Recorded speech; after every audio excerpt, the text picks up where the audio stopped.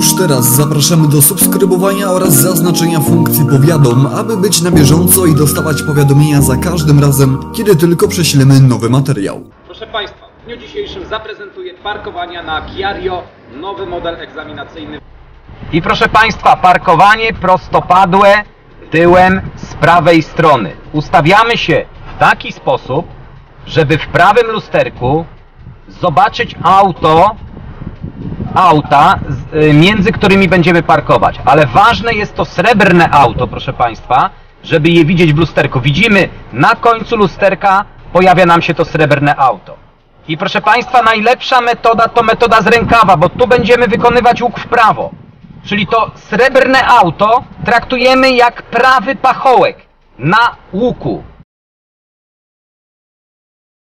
Czyli ustalamy między naszym autem a tym srebrnym autem te pół metra i trzymamy taki odstęp i będziemy wjeżdżać w pole yy, parkowania. Popatrzmy, proszę Państwa.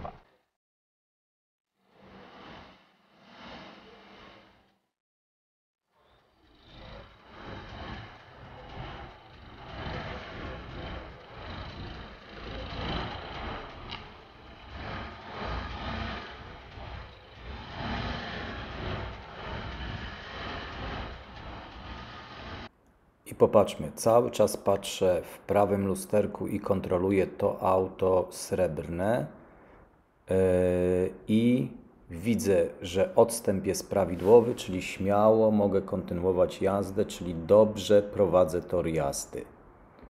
Teraz przechodzę wzrokiem w lewe lusterko, kontroluję auto z lewej strony, yy, upewniam się, czy na pewno moje auto zmieści się. I ponownie kontrola prawego lusterka, czyli srebrne auto i popatrzcie jak, w jaki łatwy sposób można e, zaparkować prostopadle tyłem. To jest zdecydowanie łatwiejsze parkowanie, jeżeli chodzi o parkowanie prostopadłe. Yy, Oczywiście na egzaminie ono jest bardzo rzadko wykonywane, albo wręcz wcale nie jest wykonywane, ale przypadku, gdy będziecie później już po egzaminie parkować, to zawsze jak macie dylemat, e, czy się zmieścicie między pojazdami, bo wydaje Wam się, że jest bardzo mało miejsca, zdecydowanie lepiej jest wykonać parkowanie prostopadłe tyłem, bo wtedy ta widoczność jest zdecydowanie lepsza, chociażby poprzez to, że jesteśmy w stanie kontrolować odległości od pojazdów właśnie w lusterkach prawym i lewym. Rozpoczynamy parkowanie. Kierunkowskaz, rozglądamy się i kontrolujemy prawe lusterko i lewe lusterko i tylna szyba. I kierujemy się w kierunku srebrnego auta. Widzę cały czas srebrne auto w prawym lusterku.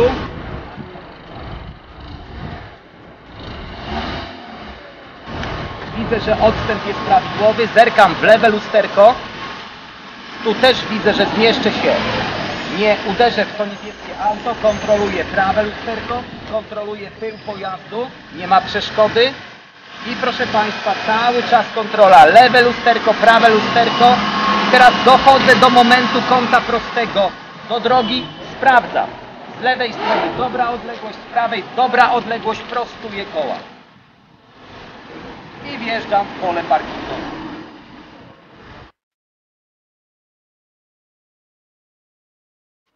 Państwa, to jest najprostsza metoda, czyli metoda z rękawa.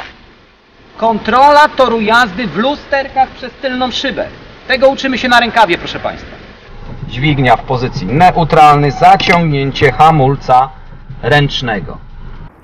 Zanim przejdziemy do kolejnego parkowania, e, omówię troszeczkę, e, do czego nam jest potrzebny rękaw, bo często tutaj instruktorzy ten rękaw traktują jako tylko i wyłącznie przedmiotowo, czyli jako zadanie egzaminacyjne. A proszę Państwa, jako zadanie, traktując to jako zadanie egzaminacyjne, popełniamy dość spory błąd.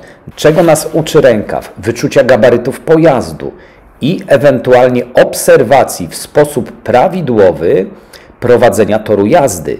Czyli prosta zasada: jadę do przodu, patrzę do przodu, ale jeżeli jadę do tyłu, to patrzę do tyłu.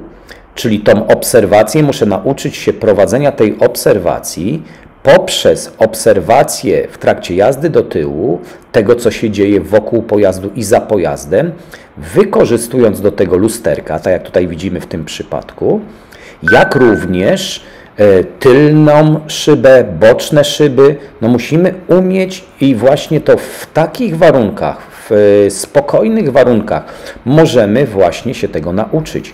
Następna sprawa, czego uczy nas jeszcze rękaw, a mianowicie tej kontroli wolnej jazdy. Czyli uczymy się tutaj w trakcie nie tylko obserwacji, ale również kontroli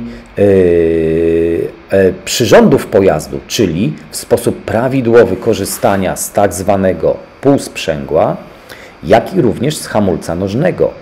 Czyli prowadząc jazdę do tyłu, żeby ona była wolna, korzystamy z tak zwanego półsprzęgła, czyli nie odpuszczamy sprzęgła w całości i przyhamowujemy prędkość hamulcem, tylko ta lewa noga cały czas pracuje na tym sprzęgle. Od podłogi do fazy tak zwanego półsprzęgła, gdzie nic się nie dzieje, możemy tutaj puścić to sprzęgło szybciej, ale w momencie, gdy czujemy, że pojazd zaczynamy wprawiać w ruch, to to jest właśnie ta tak zwana faza półsprzęgła i tutaj już są bardzo minimalne ruchy lewą stopą, bo właśnie ta jazda na półsprzęgle, to kontrolowanie tej prędkości będzie, proszę Państwa, nam potrzebne właśnie w przypadku manewrów parkowania. Czyli jeżeli instruktor zabiera Was najpierw na manewry parkowania, to jest potworny błąd, bo ta nauka tych manewrów będzie trwała długo i prawdopodobnie nie nauczycie się tego do egzaminu. My musimy nauczyć się najpierw w sposób prawidłowy jeździć po rękawie, czyli nie na jakieś pachołki, skręty kierownicą i tak dalej, tylko najpierw musimy nauczyć się panowania nad pojazdem, że to my decydujemy, kiedy on z jaką prędkością się porusza. To my decydujemy, czy on jedzie wolniej, czy on jedzie szybciej. Także proszę o tym pamiętać. Proszę Państwa, często prosicie mnie, w jaki sposób zaparkować prostopadle z lewej strony tyłem. Nie jest to zadanie egzaminacyjne, takiego zadania nie wykonujemy na egzaminie, ale proszę Państwa, pokażę dość łatwy sposób. Oczywiście tutaj trzeba pamiętać również, że elementem podstawowym to umiejętności z rękawa, czyli obserwacja pojazdu i w lusterkach, i przez tylną szybę. Zaprezentuję w jaki sposób to wykonać, czyli włączymy wsteczny bieg, e, włączymy kieruneczek, upewnimy się o możliwości jazdy i proszę Państwa, rozpoczynamy parkowanie. Obserwując drogę za pojazdem przez lewe ramię, obserwujemy pojazd bordowy, za którym będziemy parkować.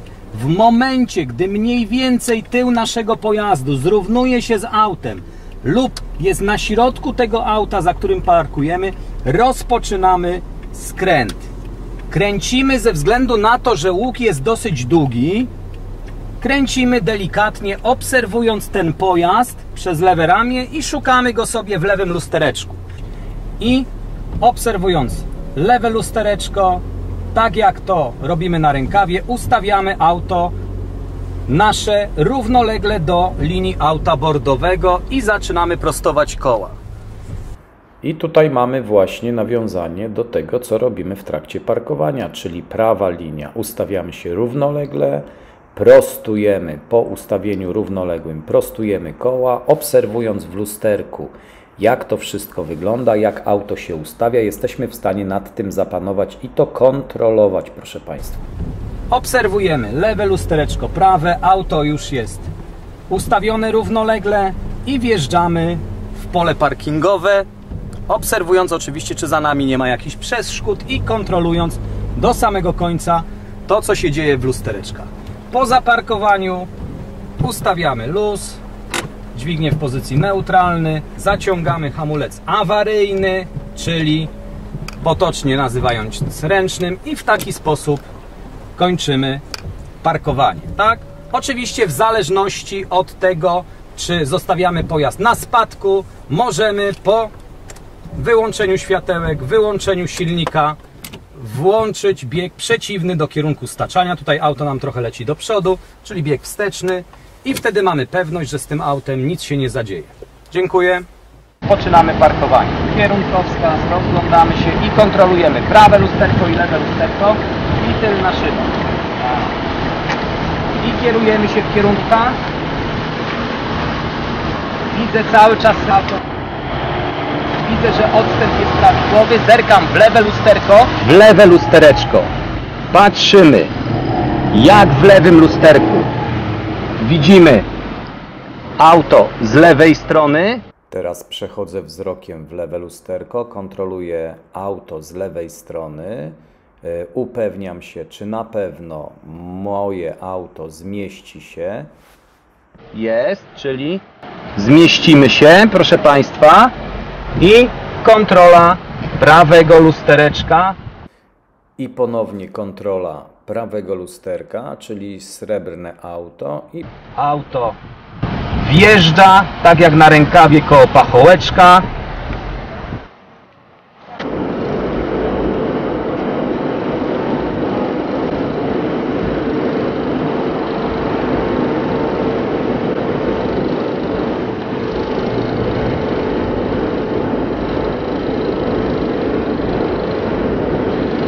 kontroluje tył pojazdu, nie ma przeszkody.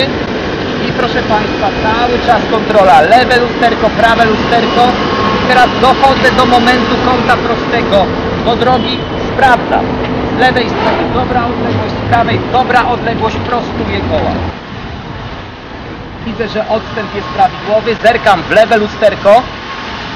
Tu też widzę, że zmieszczę się nie uderzę w to niebieskie auto, kontroluję prawe lusterko, kontroluję tył pojazdu. Teraz dochodzę do momentu kąta prostego, do drogi, sprawdzam. Z lewej strony dobra odległość, z prawej dobra odległość, prostuję koła. Już teraz zapraszamy do subskrybowania oraz zaznaczenia funkcji powiadom, aby być na bieżąco i dostawać powiadomienia za każdym razem, kiedy tylko prześlemy nowy materiał.